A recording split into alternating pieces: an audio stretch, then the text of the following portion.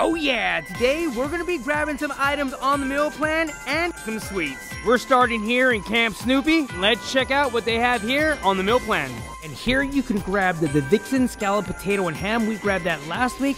We're here for the mac and cheese burger with jalapenos and sriracha ketchup. On our way to Grizzly Lodge, we stopped in to check out some of the merch at Peanuts headquarters and we found this. They have a Peanuts Christmas Loungefly man, and this is pretty awesome. This is two times bigger than a Loungefly that you will get at Disneyland.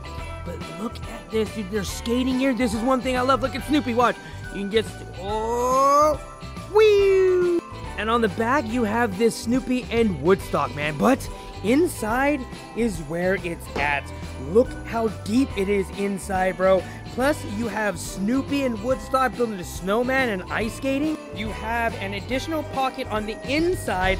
Plus, you have a pocket on both sides here. And wait for it. You see this snowflake right here? All you have to do is open this like so. And there's another pocket. And this one, look, this one goes pretty deep too, dude. Look. Whoa! You can get your very own Loungefly for $85, and if you are a Knott's Pass holder, you do get a discount on this. One thing I will say, supplies are limited, and these go really, really quick. And now to the burger! Here is the macaroni burger. Let's open it up. You can see you got sriracha, you got jalapenos up in there, you got the macaroni, and the burger on the bottom. How would this burger contend with the other two that we had last week? There's really nothing special about this burger. It's a hamburger with macaroni, jalapenos, and sriracha. Now that being said, the food here at Grizzly Lodge really gravitates more toward kids than adults. And let me tell you, kids are gonna love this burger. The first bite I took of the burger, I was like, eh. And then I took a second bite, and then a third bite, and a fourth bite, and it really did grow on me. So this hamburger right here, for me, is gonna get a 7 out of 10. But if you don't like spicy stuff, I will say, ask them to put the jalapenos and sriracha on the side.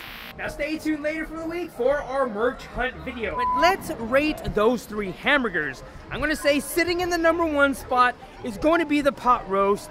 Number two is going to be the cranberry turkey burger. And number three is going to be the macaroni burger. Now let's head off to Wilderness Broiler.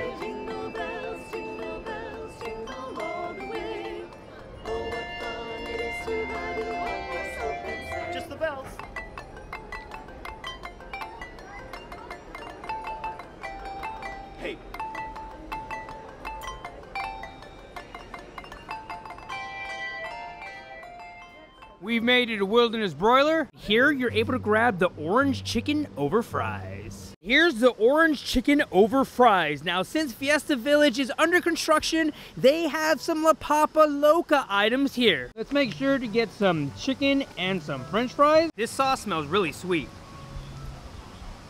Now this is a weird combination. Now I do like the chicken. The outside of the chicken was nice and crunchy and it is a white meat. I think if this dish had rice instead of the french fries, this would have been a solid 7 out of 10.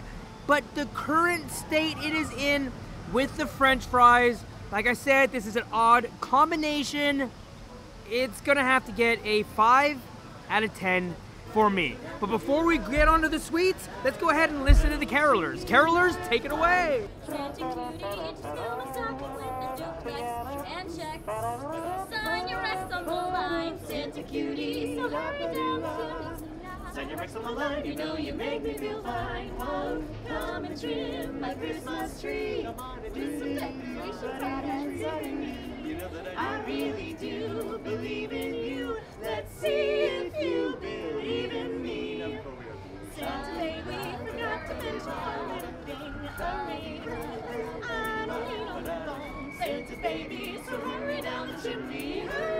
chimney. Hurry on down, hurry on down, hurry on down. That old chimney tonight.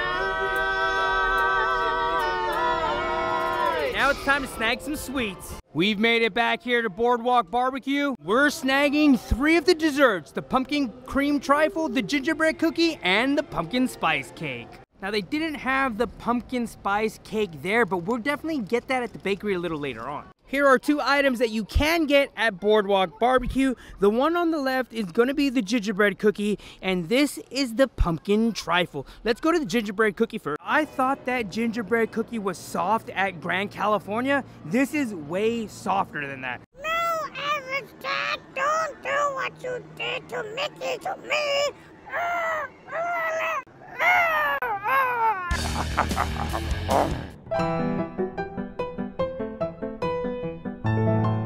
Berry Farm's gingerbread cookie is on point. I will say it is two times softer than the one that you can get at Grand California Hotel. You do get the nice spices that you get in here. And one thing I did like, the molasses flavor in here is stronger than the one you get at the Grand.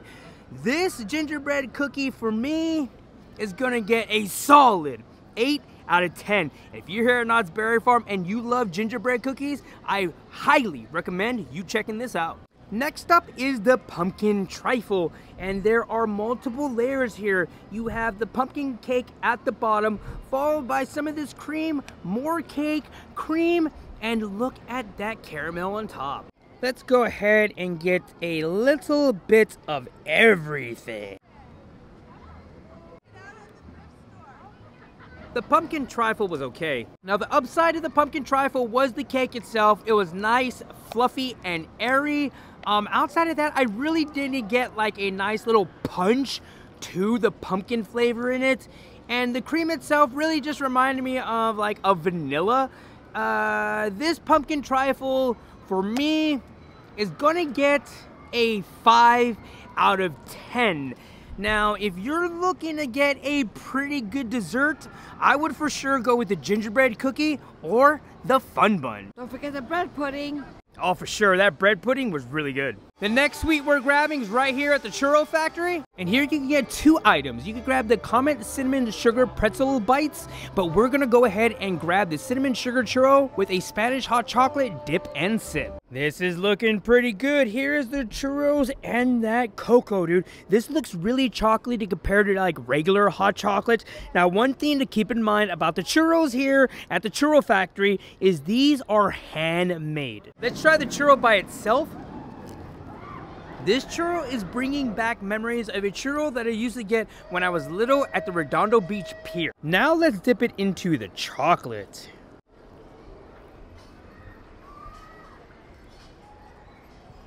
Personally, me, I think the churro is a lot better by itself than dipping it in. When you do dip the churro in, you lose a lot of the cinnamon sugar that gives it that churro flavor. Before I give my final review, let's try the cocoa by itself. Oh, now this is like really, really chocolatey, like a dark chocolate. And I think I'm getting a little spice to this, dude. Like, there's a little heat in this. Warning, if you do not like spice, don't get this cocoa because there is some spice in here and it doesn't catch your palate, but it catches the back of your throat. Now, I'm a huge fan of spice, so I do like this.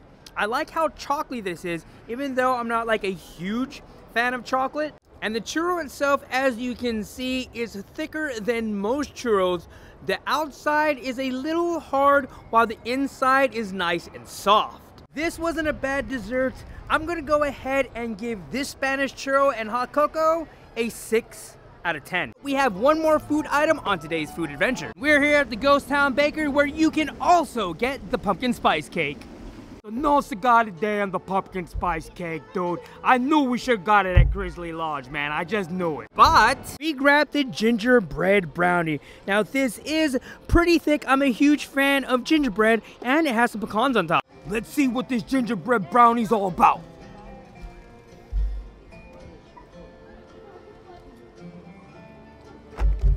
It's a brownie and it tastes like gingerbread. I give it a 6 out of 10. That's it. I'm done. No more. No more today. No reviews. No more reviews. So, this doesn't remind me of a brownie, whatsoever, even though the tag in there says a brownie. I think this is a fudge, dude. This is a gingerbread fudge because it doesn't remind me of a brownie whatsoever. If this is a brownie, yeah, it's getting a 5 out of 10. But if this is a fudge, the fudge is gonna get a 7 out of 10. It's nice and cold. You don't get like a real punch of the molasses or the spices in it. It kind of reminds me more of like maybe a maple fudge more than anything. Nonetheless, though, if this is a fudge, it's pretty good. If it's a brownie, forget about it. Forget it. Why, why am I back here doing reviews, man? How'd you get me back here? I'm done. I'm done. Well, that's gonna be it for us today here for another Knott's Merry Farm food adventure. I really appreciate every single one of your support, man. The channel is what it is today because of every single one of you. I just make silly little videos and upload it, and you guys are the ones that watch it, man. So thank you for all your support. And if you haven't subscribed, go ahead, go down below and subscribe because I would love to have you on future adventures. Well, every single one of you have a great day, and I will catch you next video. Deuces. Deuces.